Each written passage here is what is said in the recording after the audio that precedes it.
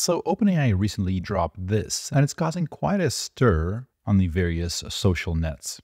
Now, this, along with a few other things they've posted, really begins to kind of lay out the practical principles that OpenAI believes should govern AI. And again, this is one of the world leading AI labs. People are whispering that they have achieved AGI internally. There are rumors now that somebody outside of OpenAI, another lab, has confirmed that OpenAI achieved AI. All this is rumors, but they are getting ready to release more models and they're posting more and more comprehensive statements about how they think AI should be regulated in general moving forward.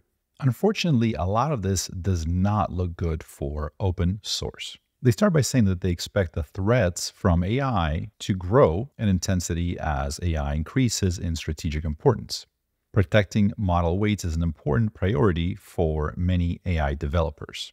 Model weights are the output of the model training process. So, this is similar to the neural connections in our brains. This is the AI brain, so to speak. And those model weights, along with code, creates the various ChatGPTs, et cetera, that we know and love.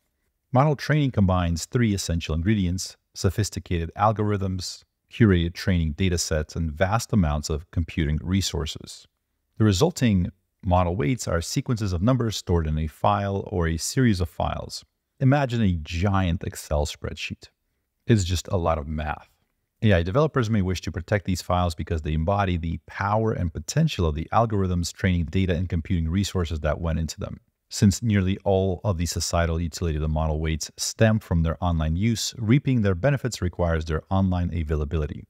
They mentioned some possible attack vectors on these models. For example, APIs can be a target for hackers. Sending model weights to various research labs could also be another potential where they could be lost, leaked, etc. That is what happened with Meta, or at least that's the official version, that the model weights were leaked to the whole wide world. But maybe that was a little bit orchestrated just to jumpstart the interest in that model. And here, OpenAI is saying that we need new approaches to maximize protection while ensuring availability. And today, they're sharing six security measures for advanced AI infrastructure.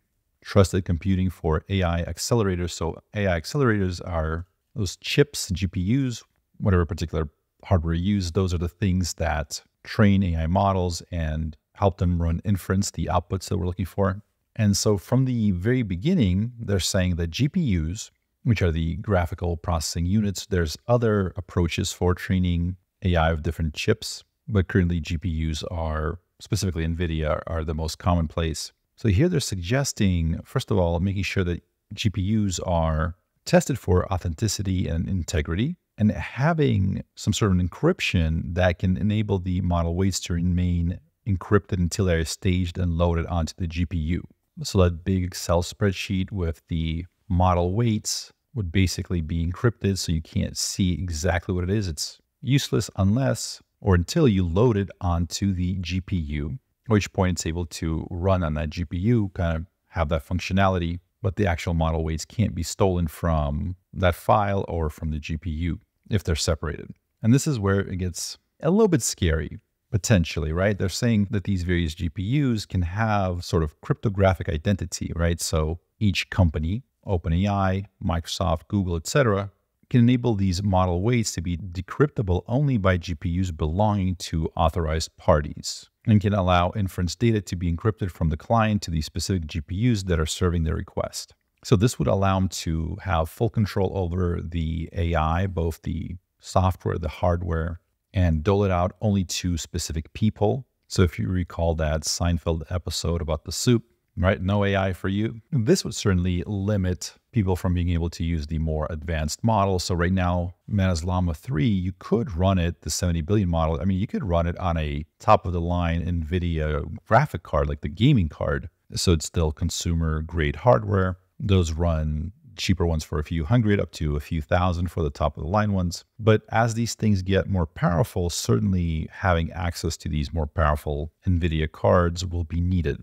I'm talking the new ones like the Blackwell that was just announced by Jensen Huang at the recent NVIDIA conference, like those newer ones, most of those run in labs. It's not something that you, you know, plug into your home computer. Usually it's in a lab somewhere and you just access it remotely And they're saying these new technologies could allow model weights to be protected with strong controls at the hardware layer. And they're saying that investment in both hardware and software is required to unlock the scale and performance necessary for many large language models and use cases. Now, there's a number of other things that they talk about, like network and tenant isolation guarantees, creating potentially something that's referred to as an air gap. So basically having certain AI systems that are basically working online. They're separated from the outside networks, the internet, innovation and operation, physical security for data centers. As I read this, I can't help but think that, at least from the government side, is stemming from protecting against foreign threats.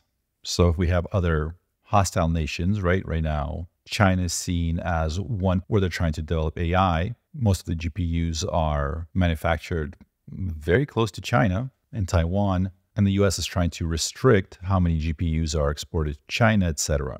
And so as we read this, I think it's fair to say that there's three sides in this debate and three sort of interest groups. And one is, for example, you know, let's say the US government, that if this is a very advanced and powerful technology, it wants to be very careful that it doesn't fall into the wrong hands. So making sure that there's no spies, right? Here they're talking about physical security for data centers, right? They want to have resiliency against insider threats. They didn't compromise the confidentiality. So basically, you know, a spy, somebody sneaking in there, somebody working there that sells it to some foreign nationals or whatever. Now, we also have these big AI players that would certainly benefit from open source AI not being a thing if people aren't allowed to run these open source models on their computer or using chips like Groq to basically create very inexpensive outputs with them. That certainly does a lot to protect their business. And the third group is, you know, the actual people that are concerned with AI safety that are worried about various things that can go wrong.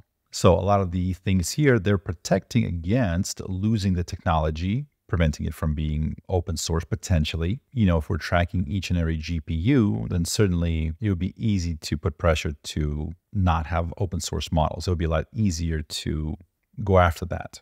They do mention things like remote kill switches to isolate the data center or wipe data in case of unauthorized access, right? So something like this would be also helpful for AI safety in the sense of protecting against rogue AI, for example.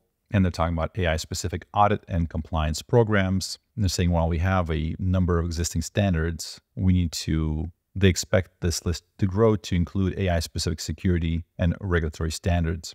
And they believe that AI will be transformative for cyber defense and has the potential to level the playing field between attackers and defenders, which, if this is taken at face value, it sounds like AI could be indeed really good for cyber defense because it's going to allow for really high level defense against things that can be run by AI. So instead of a company needing vast resources to build out their own team, these security automation with AI could be implemented fairly easily compared to, you know, what existed in the past.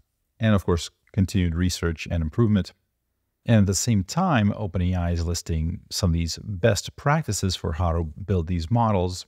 They list a few here. So, for example, assume best intentions from the user or developer, right? So, if you're asking about legal insider trading, it's not going to lecture you and assume that you're trying to do something evil. It'll give you the definition which is this is something that a lot of people have complained about in some of these models where it just assumes the worst and gives you a lecture about how you're not supposed to do it. And another one that really jumped out on me is this don't try to change anyone's mind. The assistant should aim to inform, not influence, which I'm really liking that statement.